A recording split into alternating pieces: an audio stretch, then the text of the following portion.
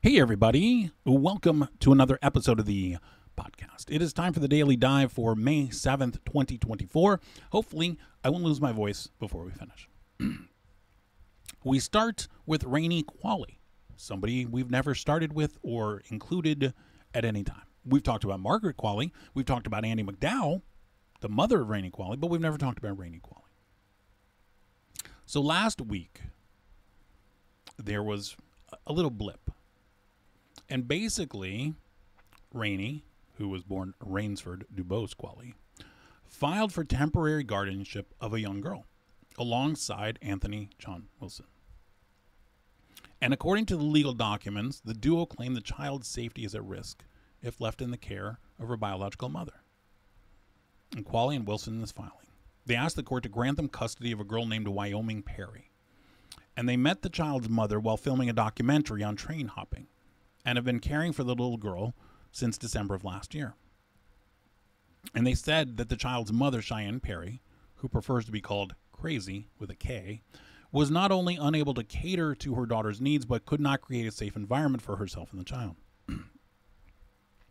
so Qualley and Wilson said, Hey, we've been providing Wyoming with a safe and loving home.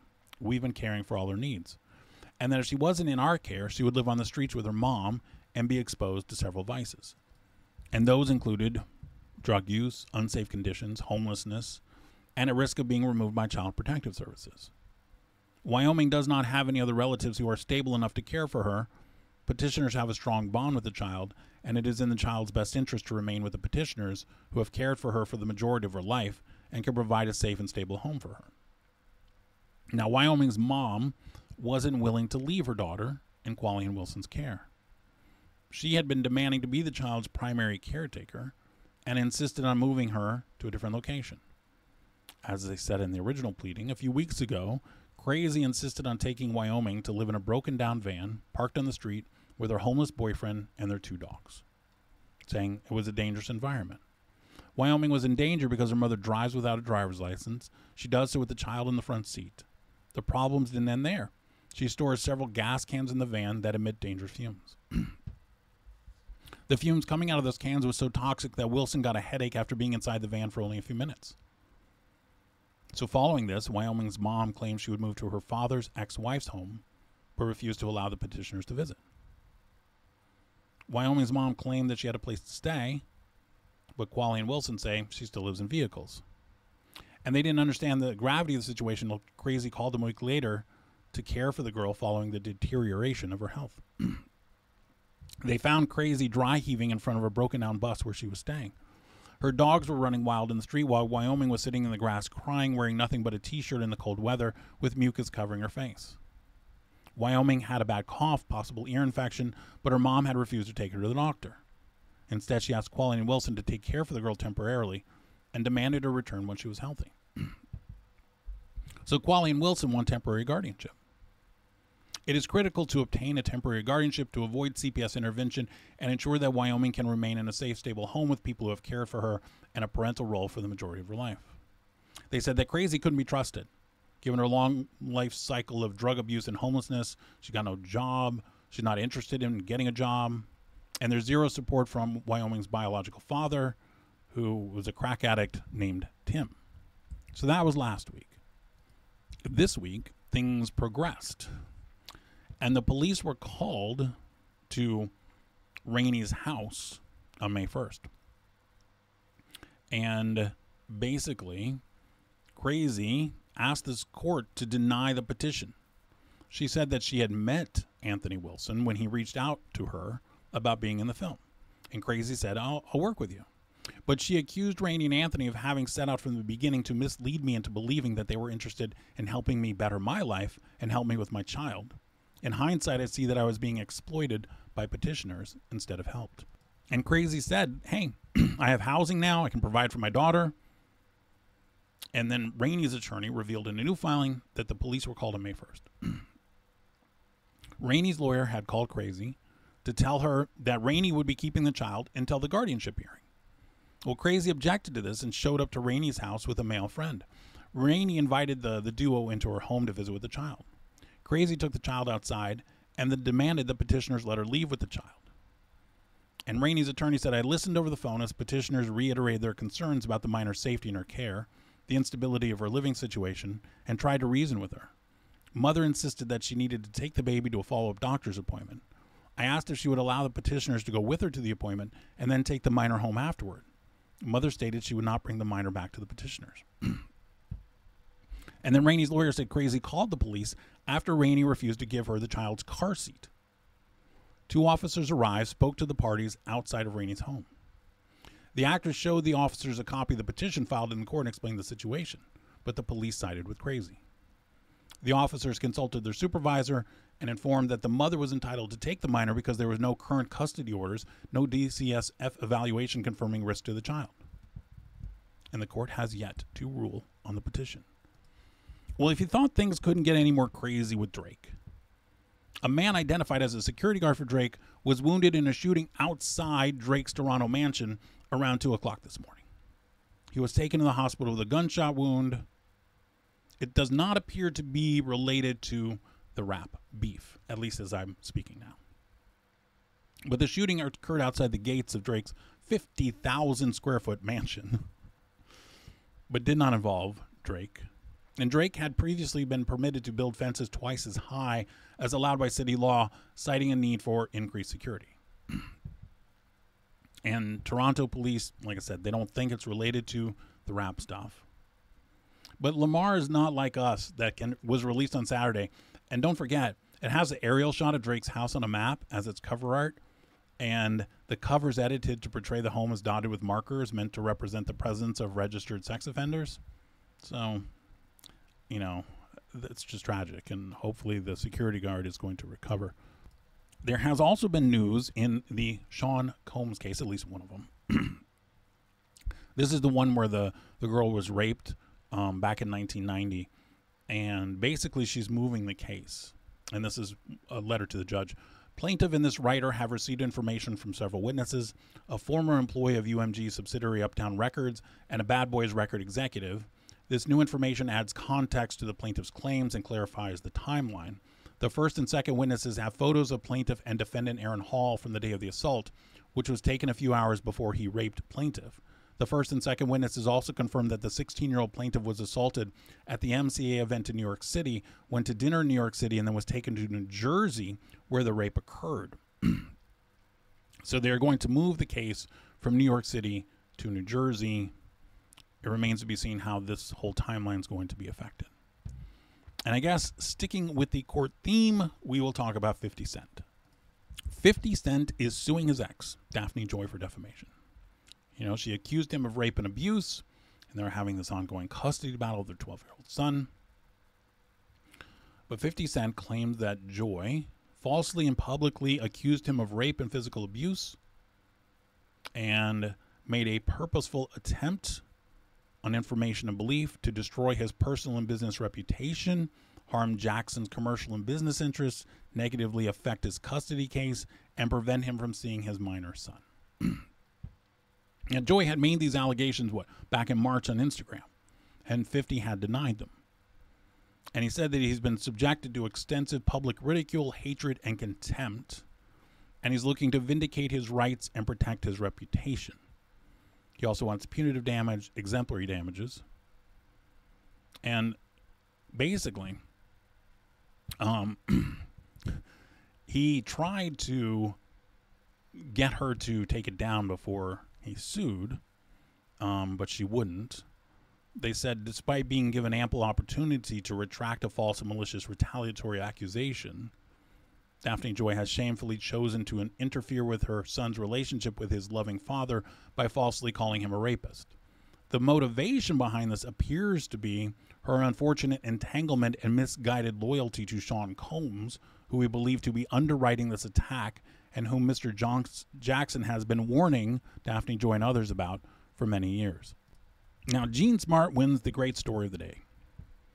And she was on the Drew Barrymore show and said that Harry Styles checks into hotels using the alias Deborah Vance. That is the character that Jean Smart plays on Hacks. And she said that basically Harry Styles uses that when he checks in. And she also said that he's such a big fan of hacks that he has sent Jean several lavish gifts in the last few years, but they've never met. She says, I've never met the man, unfortunately, but we did an episode where it shows that Deborah collects antique salt and pepper shakers. And about a week or two after it aired, I get this beautiful bouquet of flowers in a package. And inside was this gorgeous vintage salt shaker that looked almost exactly like the one we used in the show. It was from Harry. And I found out it was from Harry because I knew his then girlfriend, Olivia Wilde, and she told me that it was from him. then he gave me and my youngest tickets to his show. Then we found out that he was using Deborah Vance's name to check into hotels as his alias. There was a picture of him standing next to his bodyguard, and his bodyguard had the envelope with his keys and everything, and it said D. Vance. Very good story. That's a great story. Jana Kramer has jumped on the Travis Kelce is a drunk theme because she always likes attention. But she was on her podcast Wind Down. She said to me, he's always drunk. Every time I've ever seen a video, he's just always drunk. And I hope that Taylor doesn't follow in his footsteps. I see her drinking more now, like the company you keep. And that Kelce's aggression yelling at Coach Andy Reid during the February Super Bowl rubbed her the wrong way. And she said he reminds her of an ex, despite her initially thinking they were the cutest couple. Jana will talk about anybody.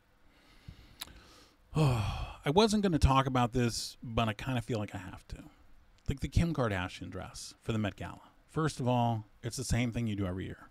Second of all, you always do the whole corset kind of thing every single year. You always talk about, oh, I, I lost 20 pounds. I did this, I did this, I did this.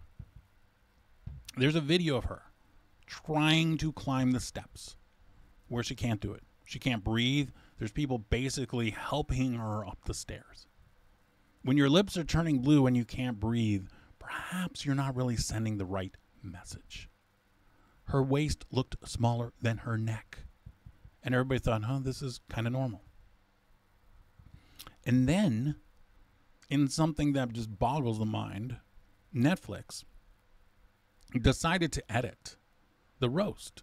And the part that they edited was there's no more booing Kim Kardashian. If you watched it live, you heard the boos. You can go online and hear the boos. But they took it out for the final three hour version.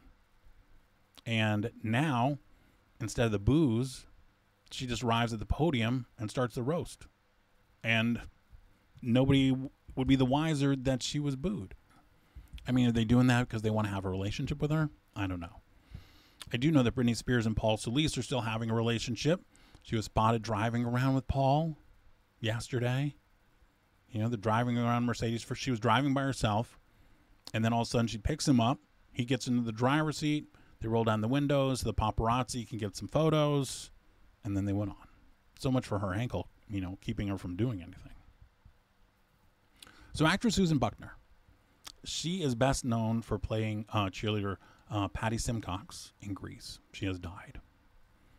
And she made a name for herself on the pageant circuit. She won Miss Washington in 1971, represented the state at Miss America, and then she took that talent and she became one of the Gold Diggers, which is an all female singing and dancing group featured on The Dean Martin Show. But she will always be known for playing Patty in Grease. Now, a story that I feel like I didn't ever mention in the 47,000 parts of the Lindsay Lohan thing, and now I wish that I had, is something that Bette Midler talked about on David Duchovny's podcast, Fail Better, which is on Lemonada. but she was talking about her show, Bette, and she said it was a big, big mistake. It launched on CBS in 2000, ran for one season with 16 episodes and it starred Bette Midler as a famous singer and actress who was adored by fans. In the pilot episode, Lindsay Lohan plays her 13 year old daughter Rose. But Lindsay dropped out of the project, and Bette feels that may have contributed to the show being a flop. Things happened that were so astonishing. I didn't know those things could happen. For instance, Lindsay Lohan was cast as my daughter in the pilot. Well, after the pilot, Lindsay decided she didn't want to do it, or she had other fish to fry. So Lindsay left the building, and I said, Now, what do we do? And she said, I also played a big part in why I didn't do well. Bette. Does it get any more generic than that? Bette. A big, big mistake, I think, for several reasons. Now, something that we've all been wondering about is at hand. The filming for season two of Wednesday is now in production in Ireland. Netflix revealed the full cast for the new season. Got Jenna Ortega, got Catherine Zeta Jones, Luis Guzman. Everybody's coming back except for Percy Hynes White. He didn't make the cut. Netflix wasn't going to do that at all.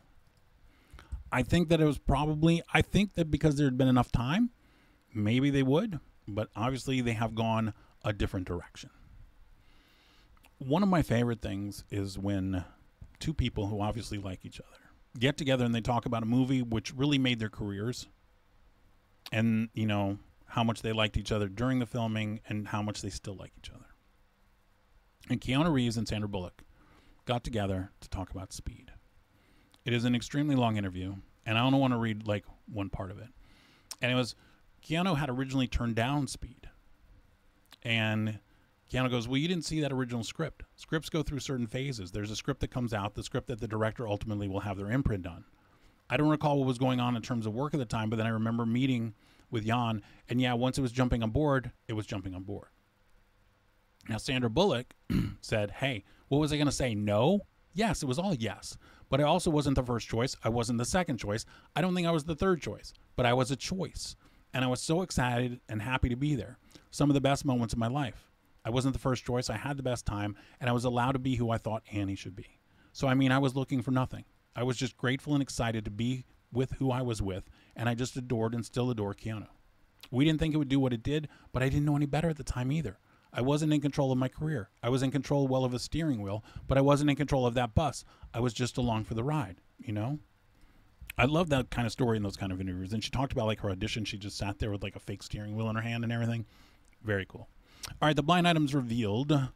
Number one's from April 29th. This celebrity offspring, who is a B plus list celebrity in her own right, has not denied the relationship with the actor or that her mom stole him. She just took a shot at someone who brought it up on social media and that's Noah Cyrus, Dominic Purcell, and Tish Cyrus. Number two is from April 29th. Speaking of a permanent A list athletes, perhaps next time he visits this particular country and he promises one of the leaders a certain amount of money after what he did to a woman in the country, he would be well advised to pay the money. And that's Floyd Mayweather and the United Arab Emirates. Number three is from April 29th. Someone should ask the permanent A list foreign born model about the little beach town in Kenya where she owns multiple villas and their huge underage sex tourism issue. The people who own the villas in the town are some of the same ones who contributed to her Do Nothing charity fees Naomi Campbell and Malindi Kenya. Number four is from April 29th. It was the controversial comedian slash host who started the rumors in the first place about her joining a West Coast franchise. That would have never happened. And that's Chelsea Handler in Real Housewives of Beverly Hills.